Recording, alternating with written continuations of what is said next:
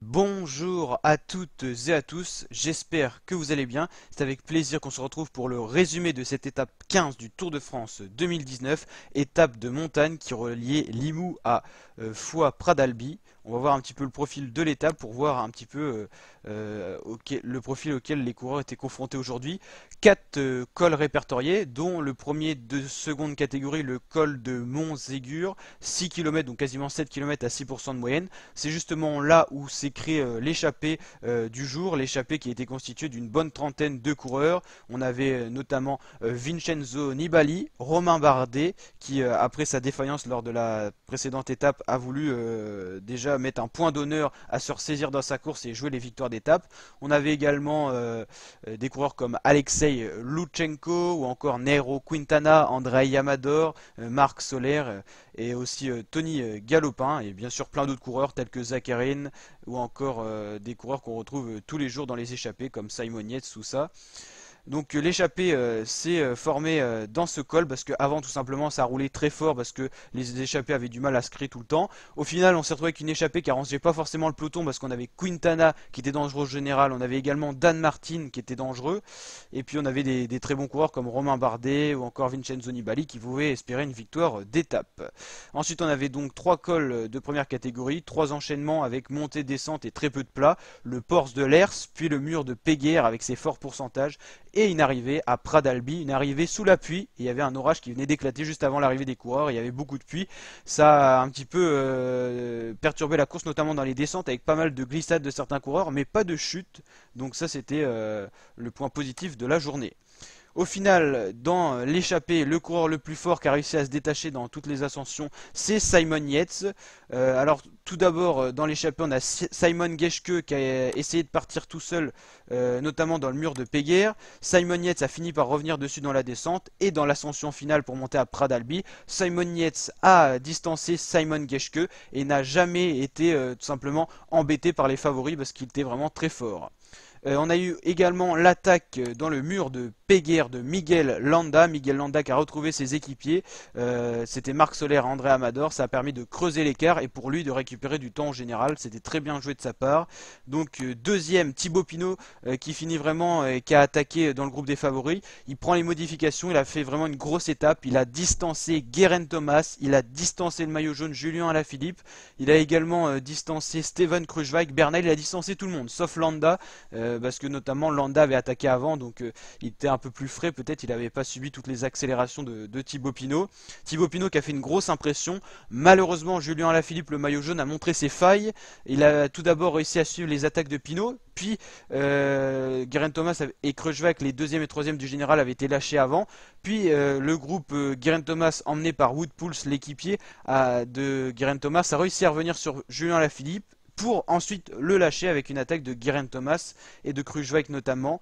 Euh, donc Julien Lafilippe qui a perdu un petit peu de temps, il n'a pas perdu encore le tour, mais il a montré ses failles. Ça veut dire qu'en montagne, il va pouvoir être attaqué parce que euh, les coureurs comme Guerin Thomas, Kruijswijk, Pinot ont vu les failles d'Alaphilippe. Autant il les avait pas montrées sur le Tour Malais, là il les a montrées. Et attention parce qu'il était un peu plus faible que tous les coureurs quasiment euh, du top 10. Mais il a fait une très belle étape quand même, il a limité la casse. Donc troisième Miguel Landa qui arrive en même temps que Pinot. Ensuite, on a le groupe Burman, Bernal, très fort ces deux coureurs, surtout Burman, l'allemand, mais alors sensationnel sur ce Tour de France. Bernal, on connaissait déjà ses qualités, il a été un peu plus juste. Lénard Kama pour la Team Sunweb, lui ne joue pas le général, mais il a été sensationnel, il a réussi à suivre les plus forts.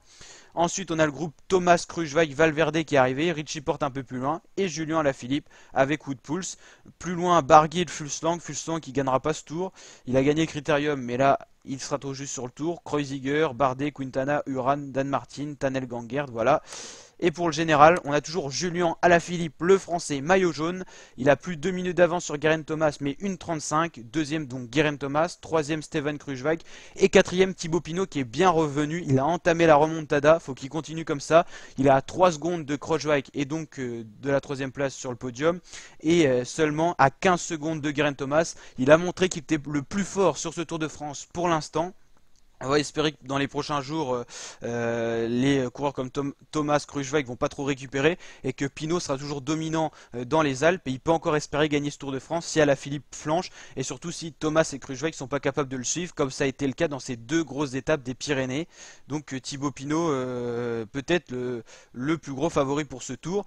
À noter que Guerin Thomas a quand même eu des différentes défaillances mais il avait tellement gagné de temps dans la première semaine, il avait tellement joué fin avec son équipe qu'il est toujours dans la course malgré ses multiples défaillances, que ça soit au Tourmalet et aujourd'hui. Même s'il a perdu des poignées de secondes à chaque fois, il est toujours dans la course. Et pour l'instant, si la Philippe craque, c'est Thomas qui prendrait le maillot jaune. Kruijswijk la deuxième place et Pinot serait derrière. Bernal, il n'a pas totalement craqué, il est qu'à 12 secondes de Pinot. Euh, Burman est toujours dans la course. Après, ça se complique à partir de la septième place avec Landa qui est revenu quand même. Il a montré qu'il avait les jambes, mais il est à 4,54. Là, c'est quand même beaucoup plus compliqué. Valverde 8ème pour euh, le coureur euh, qui devient plus leader que Quintana dans cette équipe alors qu'il avait roulé dans les premières étapes de montagne pour euh, son équipe, on se souvient, donc il repasse leader Valverde, Fulslang 9ème et Uran 10ème, Richie Porte 11ème et Warren Barguil, le top 10 est toujours accessible, mais ça sera compliqué quand même. Au niveau des Français, on peut pas se plaindre. On a quand même premier, quatrième, douzième. C'est rare dans l'histoire du Tour, depuis euh, notamment au moins 20 ans, d'avoir autant de Français dans, le jeu. Guillaume Martin a souligné qu'il est quand même 16e, David Godu 18e, Romain Bardet 19e. Il y a quand même du monde du côté français. Alors à noter au niveau des défaillances que Quintana a totalement craqué, Dan Martin c'est pareil, ils pourront plus jouer le général. Là en, vrai euh, la victoire du tour va se jouer entre Julien Lafilippe, Guérin Thomas, Kruijswijk, Pinot, Bernal et Burman. Après je pense que ça sera compliqué, ça reste encore possible comme des coureurs comme Landa et Valverde en partant de loin, mais il faudra creuser des écarts très conséquents qui sont quand même difficiles à, réaliser. Mais euh, tout reste possible. Le maillot vert reste sur les épaules de Peter Sagan, la meilleure équipe c'est la Movistar Team devant la ça s'est totalement inversé. On n'a plus du tout la Trek euh, qui était là, euh, notamment les, dernières étapes. Meilleur grimpeur, c'est Tim Vellens. Thibaut Pinot revient à 50 points. Euh, Julien Lafilippe, 33 points. Thomas de Ghent est toujours là avec 37 points. c'est encore il y a encore beaucoup de possibilités pour le maillot de meilleur grimpeur, rien n'est joué pour l'instant. Et le meilleur jeune, on n'a pas d'informations, sauf que Bernal le conserve car Henrik Mas a totalement euh, euh, eu une grosse défaillance dans cette étape et il perd totalement le classement du meilleur jeune, il doit être à plus de 20 minutes. Euh, donc maillot jaune à la Philippe qui a montré ses failles malheureusement, mais on peut encore espérer une victoire d'Ala Philippe. Hein. Il a le temps de récupérer, il y a journée de repos demain, une étape de plat mardi. Mercredi, c'est une étape qui sera vallonnée, mais normalement qui ne devrait pas poser de problème à la Philippe. Il faudra suivre ça jeudi, vendredi et samedi sur les trois étapes de montagne, dont jeudi, c'est une étape qui sera en arrivée en descente, qui peut favoriser un retour d'Ala Philippe si jamais il est lâché du groupe des leaders, s'il a une poignée de secondes. Après, c'est sûr que s'il est à 2-3 minutes, ça sera quand même compliqué. Euh, et ensuite, euh, vendredi, ça sera vraiment une arrivée en altitude. Et samedi, une arrivée à Val Thorens, je crois, après 30 km d'ascension. Donc là, il y a le temps de faire des écarts. Euh, on croise les doigts pour Alaphilippe, parce que on, le voit depuis tellement longtemps en jaune qu'il mériterait de gagner ce Tour de France, plus que les autres coureurs qui se contentent un petit peu pour l'instant de suivre, sauf Thibaut Pinot. Mais un coureur comme Keren Thomas qui a été lâché à de multiples reprises, j'espère pour les Français aussi qu'il ne gagnera pas le Tour de France. Ça serait quand même dommage après tout ce qu'on a vu avec nos Français. Euh, voilà pour ce tour. En tout cas, un tour très réussi pour le français. Ça fait longtemps qu'on n'avait pas vu ça. Et donc, euh, superbe tour à regarder en tout cas. N'hésitez pas à liker la vidéo si elle vous a plu et à vous abonner pour d'autres vidéos de ce genre. Ciao la team et à très bientôt pour de nouvelles vidéos.